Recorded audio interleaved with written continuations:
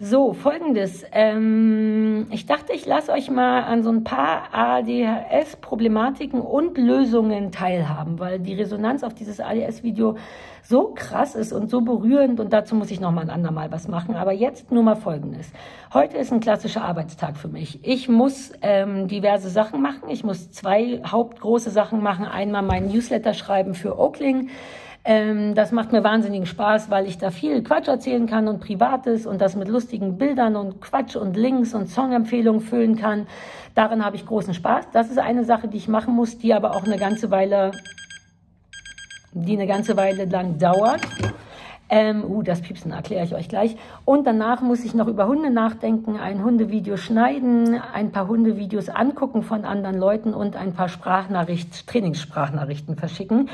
Beides, das ist ein Vorteil, macht mir sehr großen Spaß. Das ist aber auch ein Nachteil, denn es macht mir so großen Spaß, dass ich beim Arbeiten ähm, in den wahrscheinlich sogenannten Hyperfokus gerate. Ich habe also so viel Spaß, dass ich alles andere nicht mehr wahrnehme und das einfach mache. Ich bin hart konzentriert. Ich esse nicht, ich trinke nicht, ich rauche, aber ehrlich gesagt auch nicht, weil ich fange an und vergesse dann fertig zu rauchen. Ich bin sehr in the zone.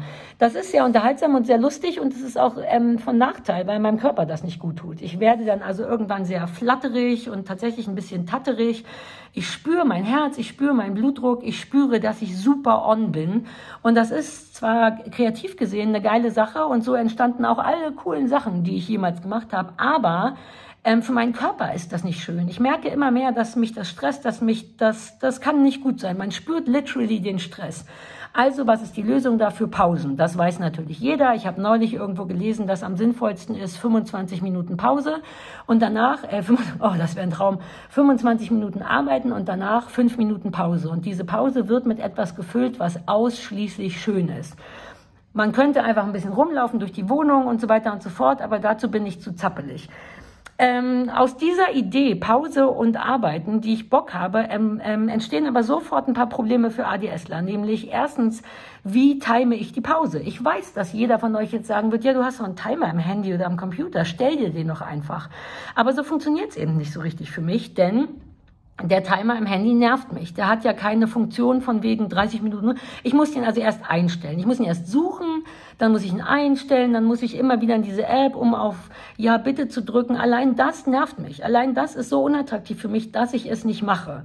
Also bin ich seit zwei Tagen auf der Suche nach etwas, was mir Spaß macht als Timer. Ich habe meinen Mann gefragt und gesagt, Christoph, kannst du dir nicht irgendwas ausdenken für mich? Ich brauche sowas wie eine Schachuhr, was haptisches, was dasteht, womit man mitspielen kann, wo man buff auf die eine Seite drückt und nach 30 Minuten piepst und dann muss ich eine Pause machen und dann drücke ich auf die andere Seite und dann piepst es nach fünf Minuten, wenn die Pause vorbei ist. Hab das gegoogelt, Schachuhren funktionieren so natürlich nicht und war ganz verzweifelt, weil ich weiß, es muss etwas sein, was hier für mich sichtbar ist damit ich da und ich möchte, muss damit spielen müssen. Und dann bin ich gestern auf die perfekte Idee gekommen und habe mir das gekauft und zwar Timerwürfel. Ähm, da stehen, äh, wo fangen wir an hier? Der geht von 15 Minuten, 20 Minuten, 30 Minuten, 60 Minuten. Die Zeit, die ich brauche, in diesem Fall 30 Minuten, dreht man nach oben, stellt den hin. Nach 30 Minuten fängt er an zu piepen. Ist das nicht geil? Und man muss, damit er aufhört zu piepen, den wieder umdrehen. Sprich, all meine Spielerei und yay, wir machen was, wird damit befriedigt. Und sobald er piepst, und es ist Zeit für eine Pause und ich den umdrehen muss, nehme ich meinen zweiten Würfel, der hat nämlich kleinere Zahlen, 1, 3, 5, 10, stell den auf 5 Minuten für meine Pause, buff, und dann mache ich 5 Minuten was richtig Geiles.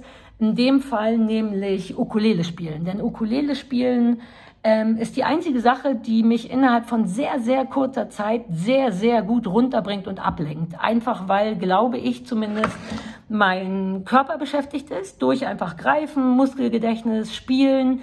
Ähm, das befriedigt mich, so dass ich nicht so richtig doll an andere Sachen denken kann, denn natürlich werde ich nach diesen 30 Minuten eigentlich den Newsletter weiterschreiben wollen muss mich aber zwingen, mich zu unterbrechen. Das funktioniert nur mit etwas, was geil ist und Ukulele spielen ist es. Außerdem habe ich extra nachgelesen, macht Singen glücklich und zwar nicht gut singen, sondern einfach singen, egal ob es gut oder schlecht ist. Ich nehme an, weil das die Harmon weil diese Harmonien, dieses mein Akkord passt schön zu meiner Stimme, das macht sofort coole Sachen in mir. Ich weiß nicht welches Hormon es ist. Aber Fakt ist, in kurzer Zeit werde ich entspannter und glücklicher. Deswegen ist also Ukulele spielen für mich die Pause der Wahl für heute.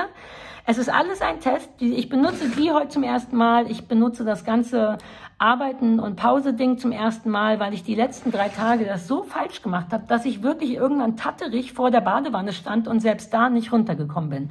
Also, ich werde das alles filmen in Zeitlupe. Ihr guckt mir zu, wie ich arbeite und regelmäßig Pausen mache und dabei vielleicht erkläre, wann ich scheitere und wann nicht. Shoot! So, und das ist so geil. Bevor es überhaupt losgeht mit Arbeiten, scheitere ich schon. Das sieht jetzt einfach aus, als wäre, würde ich nur ein bisschen aufräumen. Und das stimmt auch. Ich räume Christophs Rückengeräte weg und ich räume die Ukulele auf und so weiter und so fort. Das liegt daran, dass ich mich nicht konzentrieren kann und nicht anfangen kann zu arbeiten, Siehst du, dann ist hier noch Mikrokram, der weg soll, gleich noch Pennys Knöpfe. Ich kann einfach nicht mich fokussieren, wenn mein direktes Sichtumfeld unordentlich ist. Es ist eine Form von Prokrastinierung und gleichzeitig ist es einfach eine Unfähigkeit. So, jetzt werden die Knöpfe angemacht, jetzt wird wirklich gearbeitet. Am Anfang fällt mir das auch ganz angenehm leicht. Ne? Ich habe einen Kopf voller Ideen, Sachen, die ich in den Newsletter schreiben will, ähm, ich habe Bock, Bock, Bock, Bock, ich bin super fresh und so weiter und so fort. Deswegen, das ist jetzt 20-fache äh, ähm, äh, Verschnellerung quasi. Das ist jetzt ein bisschen öde, da kann ich auch gleich mal rausgehen. Ich muss euch nicht die ganzen 30 Minuten zeigen, aber im ersten Blog bin ich noch richtig geil am Arbeiten, konzentriert. Ich zappel nicht sehr viel. Ich sitze halt wie ein Kind auf dem Stuhl. Ne? Ich kann einfach nicht normal auf Stühlen sitzen. Ich nehme an, das hat damit auch zu tun. Ähm, ich irgendwie fühle ich meinen Körper besser, wenn ich verknotet da rumsitze. Und jetzt wird's im Grunde auch gleich Zeit für die erste Pause. So, und da piepst auch schon der Wecker zum ersten Mal. Und ich liebe es, aber ich will ehrlich sein, eigentlich will ich zu dem Moment keine Pause. Ich habe das Gefühl, ich bin mitten im Satz, das geht jetzt nicht, das geht jetzt nicht. Normalerweise hätte ich einfach weitergearbeitet. Aber weil ich auch das Video mache und weil ich die Knöpfe ausprobieren wollte, habe ich also mitten im Satz aufgehört, meinen einen Würfel auf fünf Minuten gestellt und fange jetzt an, Ukulele zu spielen. Das ist übrigens Michel van Dijk. Ihr seht, ich zappel viel, das ist nicht, weil ich ein super, super rhythmischer Mensch bin und tanzen will, sondern ich weiß nicht, es, ist, ähm, ich, ich, es fällt mir schwer, nur zu stehen und zu spielen, also zappel ich viel rum. Ah, siehst du, genau, da machen wir eine kleine Pause. Ähm, in dem Moment, in dem ich zum Computer gehe, hat es irgendwo gepiepst. Das war mein Handy, das das Ganze gerade filmt. Und das ist mein großer Vorteil, dass das Handy die ganze Zeit filmt. Denn ich hatte mehrfach zu dem Zeitpunkt schon das Bedürfnis, aufs Handy zu gucken. Einfach so, wegen Instagram, wegen, es hat gepiepst, da kommen auch Sachen rein, von denen ich zwar weiß, was es ist und dass es warten kann, dennoch will ich gucken. Und in dem Moment hat es gepiepst und ich dachte, ach komm, ich guck schnell, was es ist. Habe mein Handy hinterm Computer gesucht, festgestellt, dass es gar nicht da ist und wurde dann Gott sei Dank unterbrochen und spiele einfach weiter Ukulele zappel ein bisschen, pipapo, ich dehne mich ein bisschen, denn ich merke jetzt schon, dass mein Körper anfängt, sich zusammenzuziehen und hart zu werden. Das ist nicht geil, deswegen schadet die Bewegung sicherlich auch nicht. Und jetzt äh, piepst gleich wieder die Uhr und wir müssen weiterarbeiten.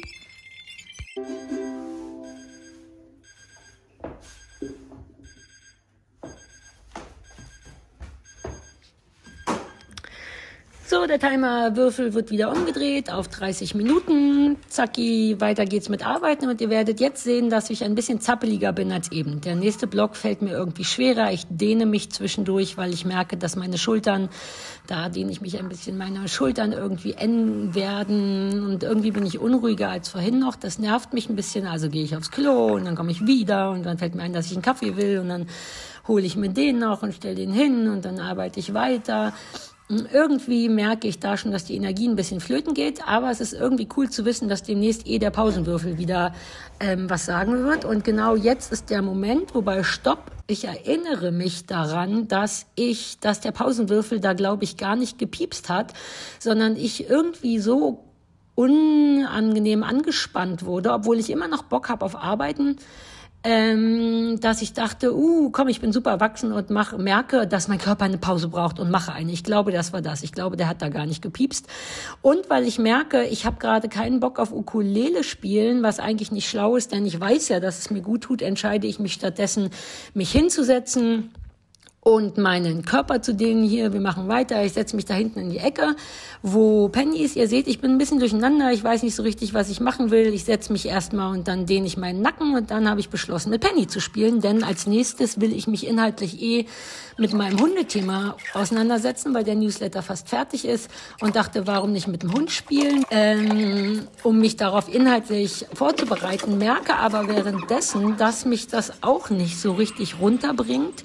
Wobei, das ist ein guter Tipp, generell sich mit Tieren beschäftigen und die streicheln, ähm, setzt Oxytocin frei und macht, dass man gechillter ist. Aber ich bin in dem Moment schon so angespannt, dass ich merke, dass ich nur so tue, als würde ich eine Pause machen mit Penny, aber eigentlich schon viel über Hunde nachdenke und beschließe deswegen noch ein bisschen Ukulele zu spielen.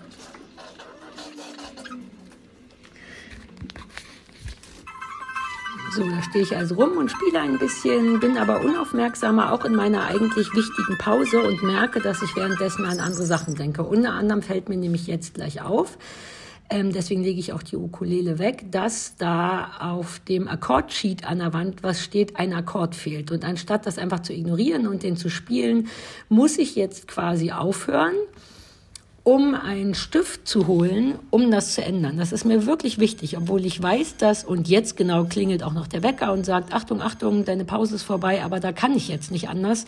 Ich muss das jetzt noch daran schreiben. Das würde mich sonst wahnsinnig machen. Aber ihr seht, ich boykottiere meine eigene Pause. Schön dumm, weiter wird gearbeitet. Hier passiert jetzt erstmal nicht so wahnsinnig viel. Ich bin im nächsten Arbeitsblock. Mein Newsletter ist durch. Ihr könnt ihn übrigens abonnieren auf oakling.de. Ähm, Jetzt kommt der zweite Themenblock des Tages, nämlich Hunde. Ich gucke mir Videos an von Leuten, die mir welche geschickt haben. Ich analysiere die und bespreche Sachen. Ich habe viel, schicke viel Sprachnachrichten, weil mein Handy ja nicht da ist, sondern filmt. Deswegen mache ich das alles über den Computer. Ich rede viel. Ich gucke mir Videos an von Hunden und ich merke aber gleichzeitig, dass mein Fun steigt, damit aber auch meine Aufgeregtheit. Ich kriege langsam ein bisschen kalte Finger. Mir ist generell ein bisschen fresh. Ähm, ich werde sehr druff, sehr uh, having fun, having fun. Also auch da schadet wieder eine Pause überhaupt nicht und ist wirklich nötig.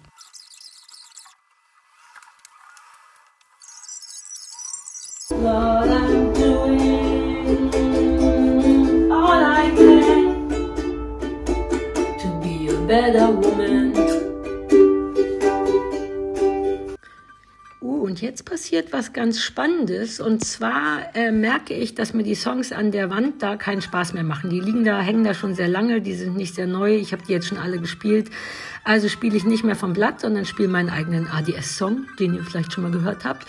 Und als auch das mich nicht so kriegt, weil ich mir den Text nicht richtig merken kann, beschließe ich mein Ukulelen-Buch zu holen, weil da viel mehr Songs drin sind, die mir mehr Spaß machen, setze mich auf den Boden und spiele die, bis die Pause vorbei ist aber eben auch eine ganz typische ADS-Geschichte. Die eine Sache kickt nicht mehr, man sieht kurz, wie ich so eine Weile stehen bleibe, einfriere, ich weiß, was ich machen soll ähm, und dann was ändere.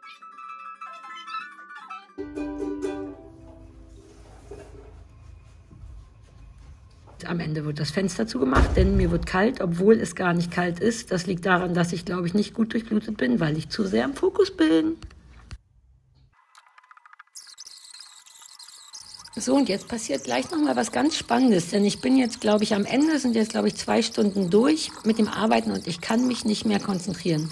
Obwohl ich Spaß habe, merke ich, dass mein Körper dringend eine Pause oder was zu essen oder eine Bewegung braucht.